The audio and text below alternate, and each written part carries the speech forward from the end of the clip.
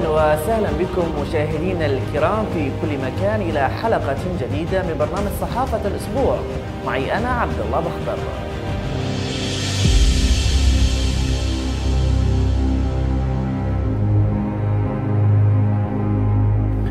ونبدأ من صحيفة الأيام حيث نشرت تقريرا للصحفي باسل بامعس بعنوان أكثر من ألف وفاة و390 حادث سير بحضرموت الساحل خلال العام الماضي. وفي التقرير أوضح مدير قسم الحوادث بشرطة السير في ساحل المحافظة المقدم صالح باوزير أن عام 2018 شهد 390 حادث مروري تسببت بوفاة 87 من الذكور و21 حالة من قبل الإناث. معيدا الأسباب الرئيسية إلى وراء هذه الحوادث إلى السرعة الزائدة والإهمال وعكس الخط وعدم إعطاء الأولوية في السير من قبل السائقين. ووفقا لبوازير فأن حوادث السير في الساحل خلال العام الماضي تصدرتها السيارات المحولة الأوروبي. وفي التقرير أيضا أكد مدير الإدارة العامة للمرور بساحل حضرموت العقيد معمر المشجري أن حوادث السير العام الماضي أقل من الأعوام السابقة. وأشار في تصريحه للأيام إلى أن أبرز الصعوبات التي تواجهها إدارته تتمثل بعدم اتساع مبنى الإدارة لحجز عدد كبير من السيارات والتي تسعى لتجاوزها في الوقت الحالي. بالعمل على إنشاء مراكز في منطقة فوة ووسط مدينة المكلا وفي فروع المديريات. وفي خبر خاص بصحيفة الأيام أفادت الهيئة العامة لأبحاث علوم البحار والأحياء المائية التابعة لوزارة الثروة السمكية بأن الكائن البحري الذي ظهر الأسبوع الماضي في ساحل أبين هو بقايا لحوت نافق يسمى الأحدب وهو من أنواع الحيتان الأكثر ظهورا بميناء خليج عدن والبحر العربي وخاصة بهذا الموسم ومنها حوت العنبر. وأوضح التقرير بأن بقايا جسم الحوت النافق شملت الجزء الأمامي الذي يظهر فيه الرأس والزعنفة الصدرية.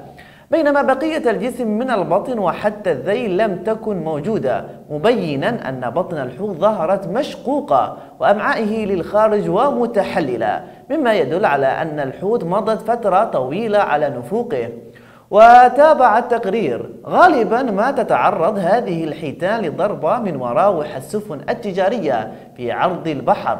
وذلك أثناء صعودها من الأعماق إلى سطح البحر بحثا عن الغذاء أو التكاثر خاصة وأنها تظهر في الممر الدولي لعبور السفن وبالتالي يؤدي اصطدامها بالسفن إلى نفوقها ثم تجرفها التيارات المائية إلى الساحل.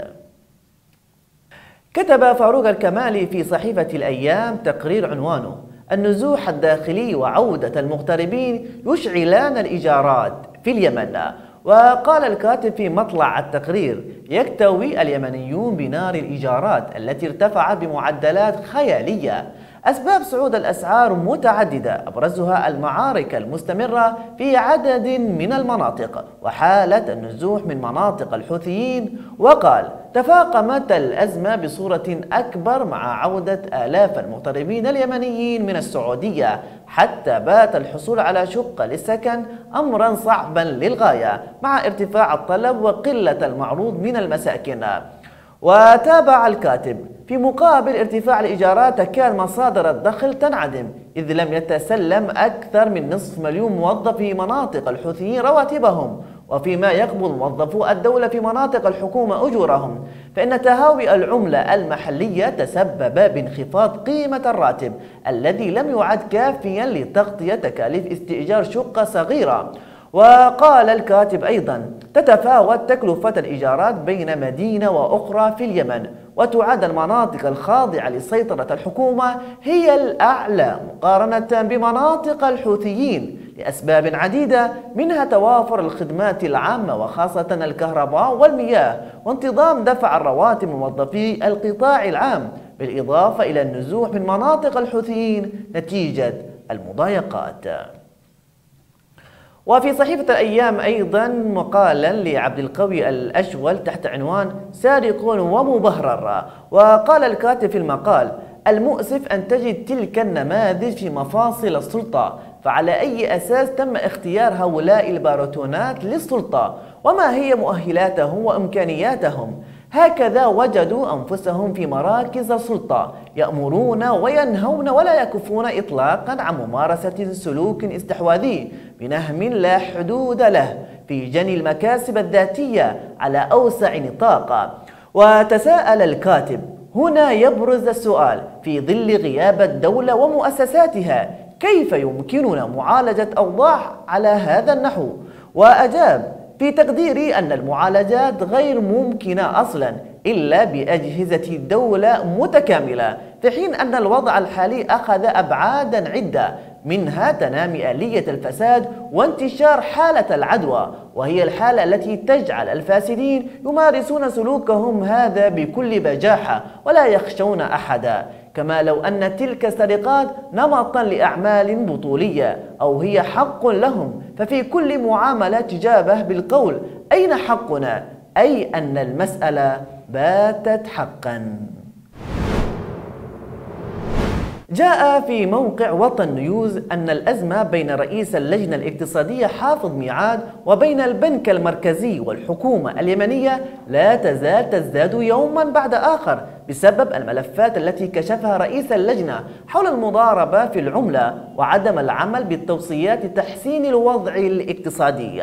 وقال الموقع أن مصادر مقربة من رئيس اللجنة الاقتصادية العليا كشفت أن رئيس اللجنة حافظ ميعاد وجه انتقادات حادة للحكومة ممثلة بالوزارات والجهات ذات الطابع الإرادي والبنك المركزي وذلك على خلفية عدم التزامها بتوصيات اللجنة الاقتصادية العليا التي وضعتها اللجنة للحكومة كخارطة طريق لمنع انهيار الاقتصاد الوطني والعملة الوطنية وخلق حالة من الاستقرار الاقتصادي والحد من الفساد المستشري في الحكومة الشرعية. والنفقات غير الضرورية. وأوضحت المصادر أن ميعاد أشار خلال انتقاداته إلى أن الحكومة أهملت جزء كبير من توصيات اللجنة الاقتصادية ولم تعمل بها لا سيما فيما يتعلق بتفعيل موارد الحكومة الرئيسية. وذكرت المصادر أن هذه الانتقادات الشديدة التي وجهها حافظ ميعاد كادت أن تتحول إلى أزمة بين اللجنة الاقتصادية والحكومة خاصة بعد أن عجزت الجهات الحكومية عن الرد على انتقادات وملاحظات رئيس اللجنة الاقتصادية الذي حمل الحكومة والبنك المركزي مسؤولية استمرار تدهور الوضع الاقتصادي وعودة انهيار العملة الوطنية بعد أن كانت قد حققت استقرارا نسبيا على مدى شهرين فقط. المصادر ذاتها قالت أن ملفات الفساد الخاصة باستيراد المشتقات النفطية وكهرباء عدن كانت من أبرز الملفات التي تطالب اللجنة الاقتصادية التحقيق فيها لكي تتمكن الحكومة من وقف الفساد اللامحدود فيها واستعادة الأموال المنهوبة. وإلى صحيفة الشرق الأوسط حيث قالت إن مسؤول يمني رفيع كشف عن تمكن وزارة الداخلية اليمنية خلال الأيام القليلة الماضية من إحباط تهريب كميات من الصواريخ وطائرات من دون طيار محملة على شاحنات متوسطة كانت في طريقها إلى صنعاء. وأضافت الصحيفة نقلا عن المسؤول اليمني. جرت متابعة هذه الحمولة وضبطها على مشارف محافظتي مأرب والجوف قبل وصولها إلى صنعاء. موضحا أن هذه الكميات من الأسلحة والمتفجرات والطائرات المسيرة حملت على مركبات شحن متوسطة يعرف بسيارات الشاص. لتبدو على أنها بضاعة شخصية لقائدي المركبات من ناحية ومن ناحية أخرى لسهولة التنقل والتحرك في المناطق الوعرة والجبلية. ونجحت وزارة الداخلية كما يقول وكيلها في ضبط كميات كبيرة من المخدرات تقدر بنحو سبعة أطنان من المخدرات المهربة التي يعمل تجارها على إدخالها لمناطق سيطرة الحكومة ومن ثم محاولة تهريبها إلى مناطق يسيطر عليها الانقلابيون الذين يتاجرون فيها وهو مخالف للأنظمة المحلية والدولية. تناولت صحيفة الشرق الأوسط خبرا بعنوان مشروع سعودي ينزع سبعة آلاف لغما حوثي خلال أسبوع. وجاء في الخبر أن مشروع مركز الملك سلمان للإغاثة والأعمال الإنسانية مسام لنزع الألغام التي زرعتها ميليشيا الحوثي. تمكن خلال الأسبوع الرابع من شهر يناير الماضي من انتزاع 89 لغما مضادا للأفراد و2322 لغما مضادا للآليات. و284 عبوة ناسفة وأربعة آلاف وأربعمائة وسبعة وثمانين ذخيرة غير منفجرة. ليبلغ إجمالي ما جرى نزعه خلال الأسبوع سبعة آلاف ومائة وثلاثة وثمانين لغما.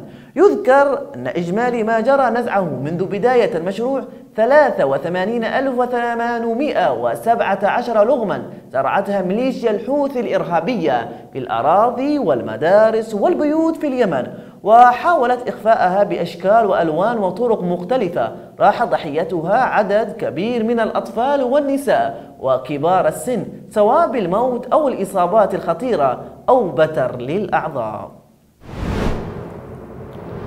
قال موقع وكالة الأنباء العالمية رويترز أن مبعوث الأمم المتحدة الخاص لليمن مارتن جريفيث قال إن سرعة تنفيذ اتفاق تبادل الأسرى ستساهم في دفع الجهود الرامية إلى تسوية سياسية للصراع المستمر منذ نحو أربعة أعوام. وقال جريفيث أيضا إن سياق القائمة نهائية بأسماء الآلاف الأسرى ينبغي أن تكتمل بحلول نهاية محادثات تستمر لثلاثة أيام في عمان بين ممثلي الحكومة والجماعة الحوثية وستتسلم الأمم المتحدة واللجنة الدولية للصليب الأحمر القائمة.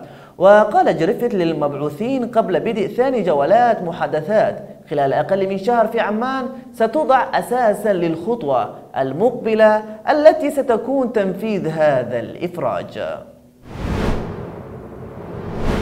كشفت مصادر سياسية في صنعاء لصحيفة الوطن أن لقاءات المبعوث الأممي إلى اليمن مارتن غريفيث مع قيادات ميليشيا الحوثي لم تخرج بأي نتائج جديدة. وقالت المصادر لصحيفة الوطن إن غريفيث حاول أن يحدث دفعة جديدة للاتفاق خلال لقائه مع زعيم الميليشيا عبد الملك الحوثي مبينة أن النقاش أخذ منحنى آخر من خلال مطالبة الحوثيين بإيقاف الحرب وفتح مطار صنعاء والدخول في مفاوضات سياسية للحل الشامل على أن تكون الحديدة جزءا منها ووفق المصادر رفضت الميليشيا الحوثي تنفيذ الانسحاب وفق ما تطرحه الحكومة الشرعية والتحالف كما اشترطت تسلم عناصرها مسؤولية الأمن في الحديدة وموانئها ورفضت دخول قوات الشرعية ولفتت المصادر إلا أن القيادي بالميليشيا محمد علي الحوثي طرح الاستعداد للدخول في مفاوضات للحل السياسي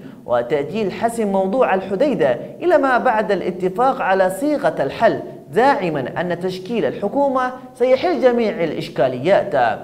وأشارت إلى أن جميع لقاءات غريفيث مع قيادات الحوثية تضمنت في مجملها رفض الانسحاب من الموانئ ومدينة الحديدة.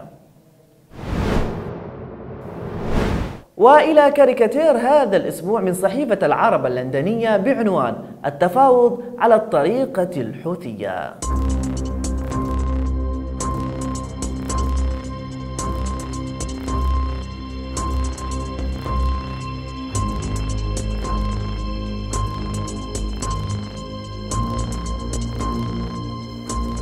بهذا الكاريكاتير من صحيفة العرب اللندنية مشاهدينا الكرام وصلنا وإياكم إلى ختام هذه الحلقة من برنامج صحافة الأسبوع. على أمل لقاء إن شاء الله بكم في الأسبوع المقبل. تقبلوا تحياتي هذا أنا ومن طاقم العمل نقول منا أطيب المنى. السلام عليكم ورحمة الله وبركاته.